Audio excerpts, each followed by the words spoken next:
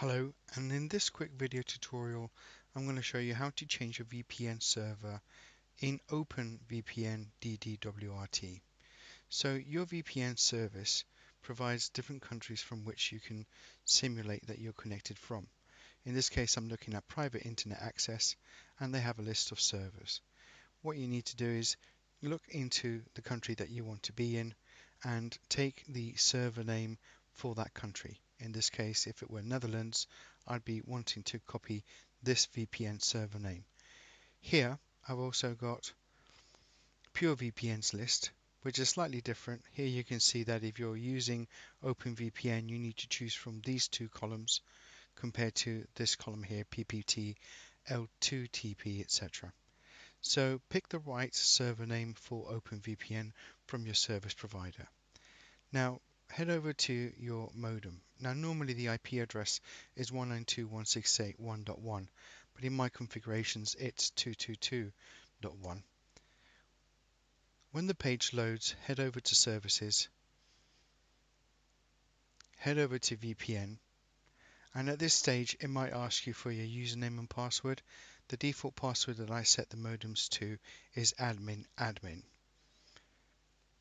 Then in this box here under the OpenVPN section in the server IP name just paste the address of your VPN server.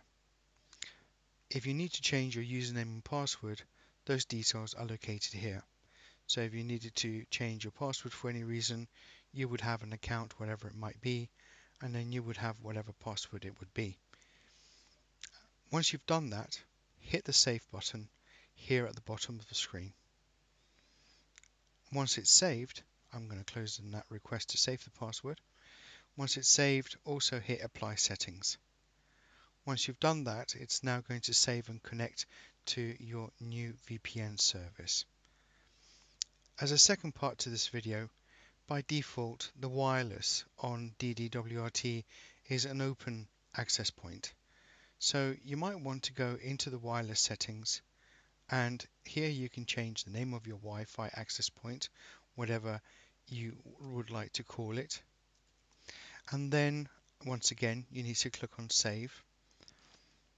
And then head over to wireless security. And to protect your wireless with a password from this list you should choose WPA2 personal. And on this list for better encryption the TKIP AES and then set your password for your Wi-Fi. It needs to be a minimum of 8 letters I believe. So once you've set your password again you hit save and then apply settings and that will change your Wi-Fi and your wireless uh, password for your DDWRT.